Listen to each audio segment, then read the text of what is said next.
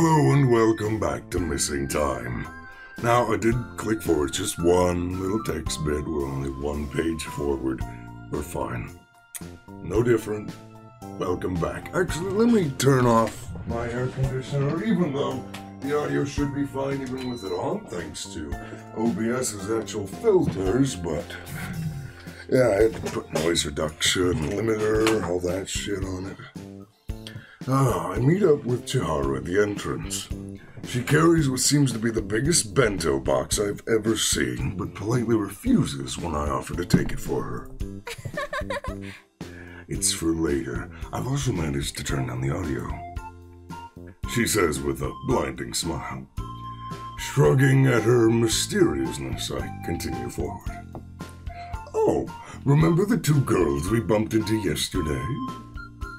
Uh, Miri and Shizuyo, right? Ah, so it turns out Emiri is the head shrine maiden of this town. I was doing a bit of reading last night, and apparently she's in charge of the shrine now. Isn't that impressive? Is that right? Isn't she a bit too young for that? I thought so too, but apparently girls can start their training at a very young age. Maybe she's really good at what she does. So that means she's like a priestess now? I think so. Not really familiar with the terms. Oh, yeah. Overseas for a while. Yeah, remembered. Uh, I remember your grandpa explaining to us when we went to the shrine as kids, but I didn't really understand it back then. Of course. Don't be mean now. Sorry. Chuckling at her red face, I decide to divert the conversation before Chiharu gets any more embarrassed. Do you think Ember managed to score more members? I don't know. She seemed so angry yesterday. I hope she didn't get into any trouble with the school. Speak of the devil. Yo! I go! Chiharu! We just got to the hallway when Ember pops around the corner. Hey, Ember. I swear to God, I thought my thing was still on. How are we this morning? We're good. You? Ain't too bad. Hey guys, getting along? We're doing good. Everyone here's so nice. Are they now? Good to hear. Ah, she shuffles her feet, suddenly looking uncertain. A tint of pink spreads across her cheeks and she refuses to look us in the eyes. This is definitely not the loud and confident Ember from yesterday. Well, I was thinking since we're fellow club members now, you guys might want to get to know each other a bit better. Uh, what do you think about lunch? I made food. Why the hell not? That's a bit sudden, but I feel bad that Ember has gone through all this trouble and might have to eat alone. Since Chiharu doesn't seem to be able to talk anytime soon, I take it upon myself to answer. Sure. Where do you want to meet up? Awesome! I always eat on the roof. Uh, School Terrace. Sounds good. What do you think, Chiharu? Oh, oh, I, I've, I made plans and I, uh, excuse me. To my bewilderment, and Ember's too, Chiharu takes off running like she's being chased by a ghost. Strange girl, huh? You're telling me, boss. A bit guilty now. She probably wanted to spend lunch together, hence the huge bento box. Asking her to lunch with Ember all of a sudden like that probably spooked her. She never has been the best with changes of plans, and her slow decision making skills makes it even worse. Oh well, can't do anything about it now. I'll have to go find Chiharu later and see if she's okay. I make my way to the rooftop as soon as the bells ring. While it takes me a while to figure out how to get up there, it doesn't seem like a lot of students wander near the western stairway anyway. I wonder why Ember wants to have lunch here. Maybe it's a good chance to get to know her better. The view is breathtaking, though. Clear sky and unobstructed by trees. All noises fade into the background, buzzing like cicadas in summer. You can see just about every house in town from here, hidden under the great mountain's shade. It really is a great place. right? Come here to think sometimes. It's quiet, and not a lot of people wander up here, you know. It is very peaceful. Ember pushes a tier of her bento box towards me, mumbling a thank you or open with thanks. A beautiful arrangement of sashimi, rolled sweet eggs, and grilled meat is revealed. Even with my amateur eyes, I can see how delicate each cut is. How everything is shaped carefully and placed in a vibrant piece of art. There's a panda. The tuna slices are crushed with fine bonito flakes and spices. The sweet eggs are fried to perfection and the color unison inside out. There's even a hint of butter in there, which is interesting. Oh, and the meat. Ember seemed so intimidating at first. Never thought she'd be capable of preparing something so beautiful. I'm glad I agreed to this lunch. I guess you can't judge a book by its cover. You're damn right you can't. Holding up a slice of honey glazed beef, I blink. It's good. What's the seasoning you used? Oh, she's definitely pink now. She punches me lightly on the shoulder. Don't even try to butter me up. Hey! It sounds good! We should pack quite a bunch, no pun intended. Freshness, texture of the food, it brings it all out. Eating the slice of meat. I don't marinate food for a long time because I like my food fresh, you know. Marinating the meat for one to two hours would dissipate the meat's natural flavors, and for me, it downgrades the quality of the meat. But I love all food with complex sense. It's like a puzzle. Figuring out which kind of herb and spices are used in a dish, you know. You really are passionate about this. it's not like it's anything big. What do you even know about, you know, soft and mushy when it comes to food? Sensitive, isn't she? But it really is good. Shut your mouth! Okay. Suddenly, Ember throws an arm around my neck and squeezes. Wheezing, I struggle, legs kicking and hands slapping her arm. Only to freeze when I feel something soft against my face. Frozen. Do you yield? I open my mouth, but the words are stuck in the back of my throat. Ember's open blazer does little to hide blushing for justice. It's also very difficult for me to not think about the fact that my entire face is between her chest. What do I even. How do you. Should I just sit here and feign ignorance? No. Maybe the awkward silence finally got to her, since she quickly pushes me away, blushing to the tip of her ruffled hair. I'm not faring any better. My entire skin feels like it's on fire, and my tongue feels like it's permanently stuck to the roof of my mouth. But it was kind of nice, though. Deciding, though, not to make her any more uncomfortable, I shift my attention back to the food. It's only then do I realize there's a glaring absence of vegetables. You don't seem to like veggies much, huh? I'm fine with that.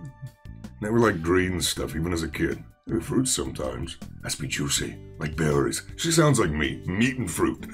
well, that's not good for your health. Shut up! You're me, Mango! You will like just meat and fruits. You will not eat the vegetables.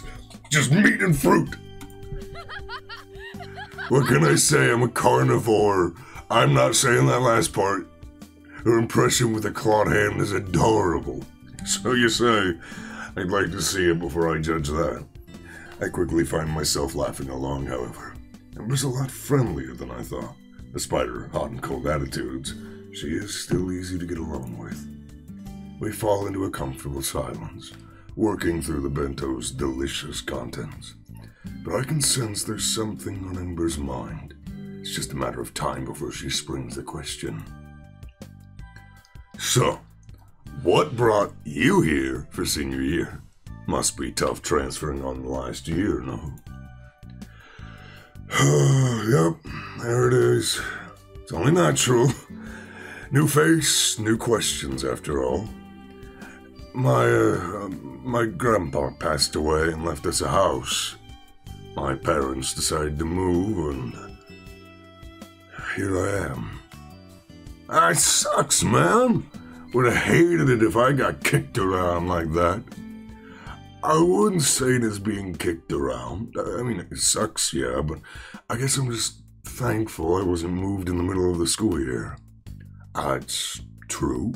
Did you and Chiharu know each other before this? oh, oh, yeah. We uh, actually used to live here when we were kids, but my family moved away when I was nine. Chiharu's parents do a lot of business overseas, so they decided to send her to a boarding school a few years after I moved. So you were both originally from here. Whoa! Yeah, I didn't expect to see her again.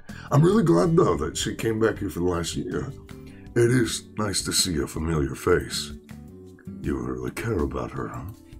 Well, she was my best friend growing up. Even if our relationship isn't the same now, I'm still glad to be your friend. You sure you don't have a crush on her or something? Wait, what? N- not asking because I want to know or anything. Sorry, I mean. it's just guys don't seem to be attached to girls if they don't have some kind of uh, attraction. She has a rather skewed view on friendship. regardless, I feel a blush creeping on my cheeks. It's not every day if someone asks me if I have a crush on one of my best friends.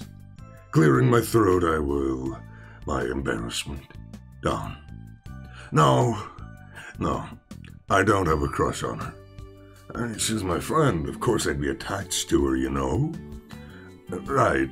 Sorry, I asked. It's, uh, it's fine. We sink into silence once more, this time a bit more awkward. Red still stains her cheeks, her grip on her chopsticks is knuckle white. Sighing, I decide to venture and break the discomfort between us. I don't think I've ever seen a Ember around, even before I moved away. You, uh, new here, in a way? My adoptive parents are native here. I'm a half-blood kid. Oh, I see. Yeah, okay. Um, yeah, veering uh, away from that topic for now. Yeah, we're not close enough to discuss that. You have a thing for mysteries, though, huh? Excuse me? I mean, you've been in this club for a while, right? And now the president, you must have at least a penchant for this kind of stuff. oh, oh, yeah, yeah, yeah. I've, I've always been obsessed with unsolved cases. It's thrilling. Do you study outside cases or just local ones? A little bit everything, I guess. I like reading mystery novels too, crimes and that kind of stuff. On an unrelated note, I watched Motherless Brooklyn, Motherless Brooklyn, recently. It was long, it was good. It wasn't like perfect, it wasn't amazing, but it was good. Uh, but that's kind of that's just what that reminded me of. Well, look at her. Isn't she just full of surprises? Turns out to be a much more interesting person than I initially thought. We chat idly about everything until the bell rings. It is nice to get to know her, and even though this is the first time we sit down and talk in length, I hope I can tentatively call, tentatively call her my friend.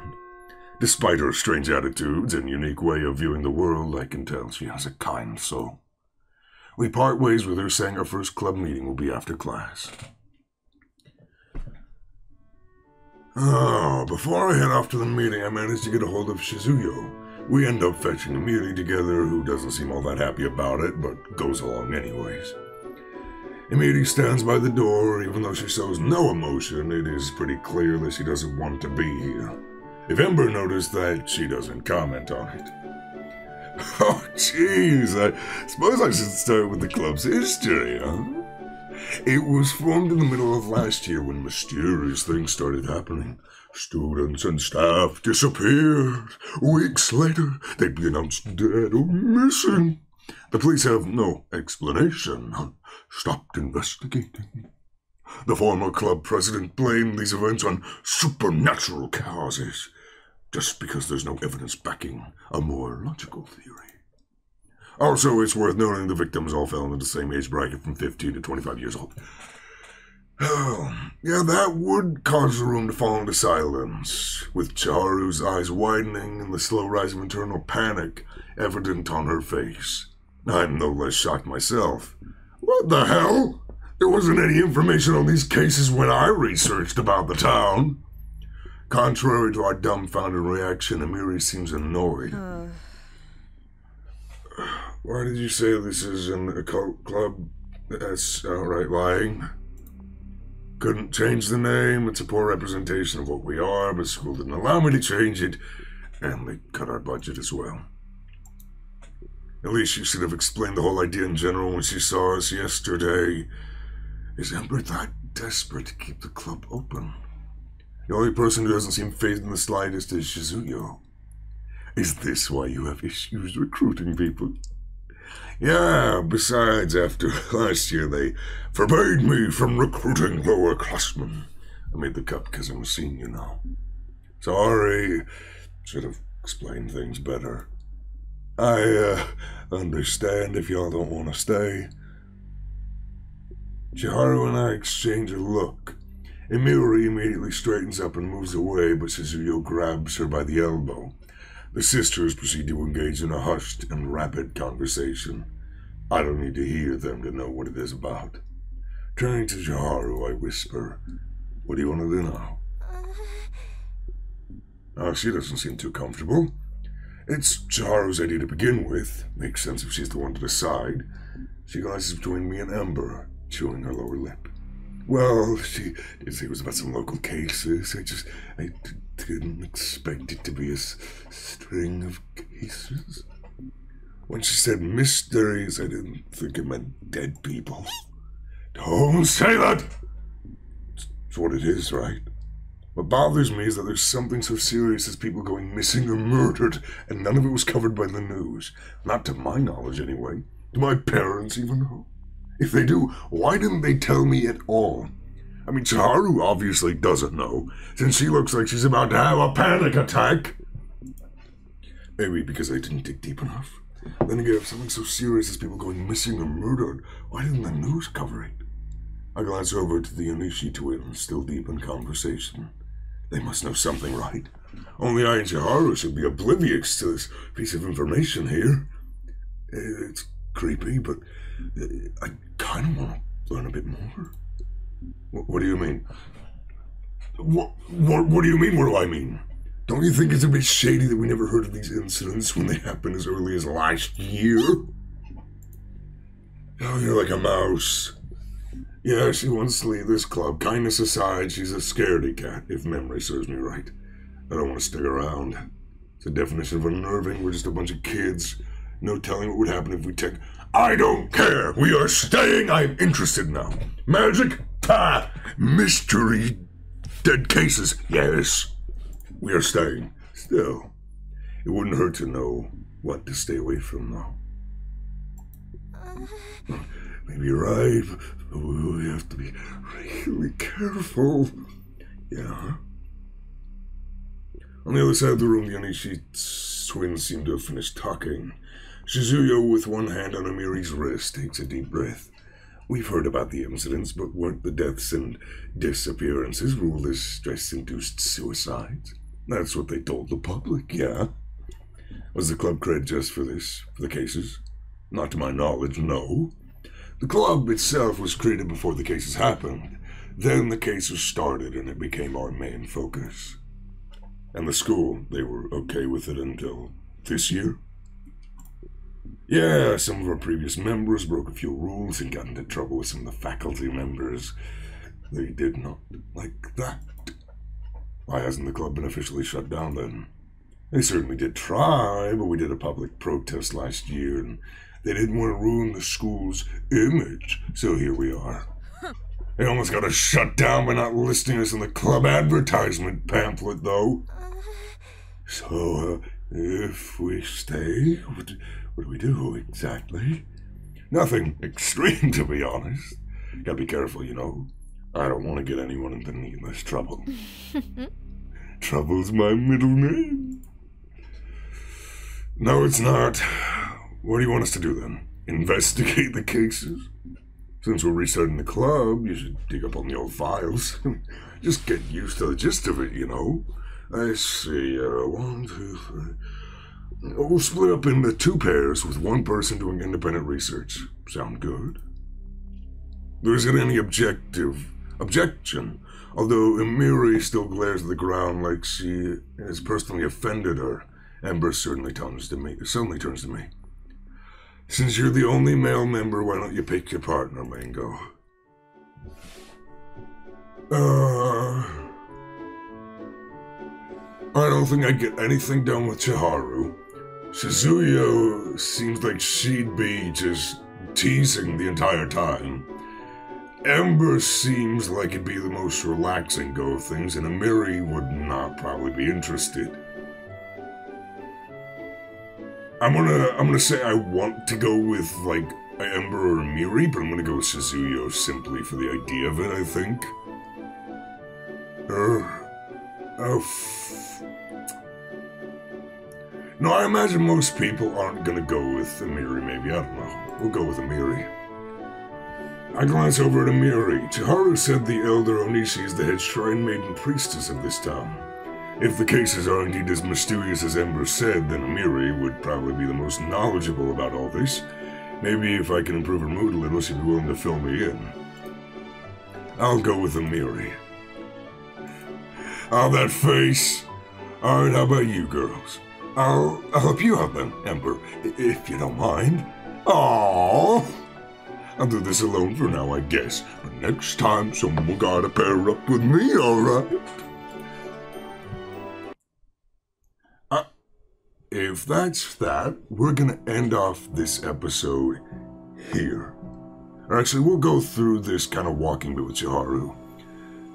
We walk home together after the meeting, and she seems relieved. You okay? I'm okay. T- to be honest, I didn't really expect the club's theme to be so creepy. It is named Occult Research. Cthulhu shit, motherfucker! Really, it says right, right on the title, Occult Research. Come on.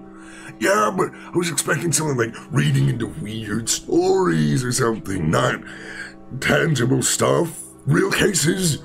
This is gonna give me nightmares. Too real for you. Oh no, this might be a terrible sign. You and I both joined.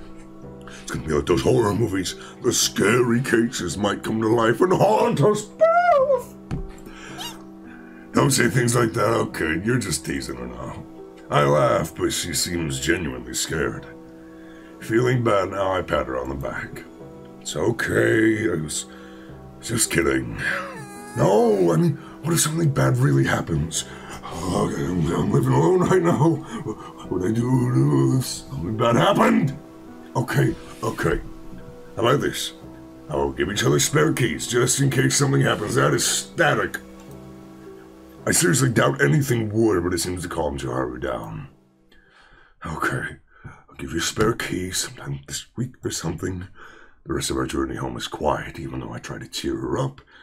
She seems really out of it. Typical Chiharu. She assures me it has nothing to do with my jokes, though I start to wonder if joining this club is really such a good idea after all. There we go, we'll end off here. So thank you for watching, I'll see you next time. Bye bye.